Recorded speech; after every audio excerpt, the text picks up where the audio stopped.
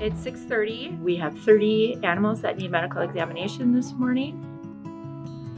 The animals that are here, they don't have owners, they don't have a home, so they need us.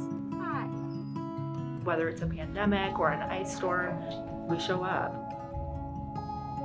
Right now, all donations to the Wisconsin Humane Society are being matched, doubling your impact for animals in need.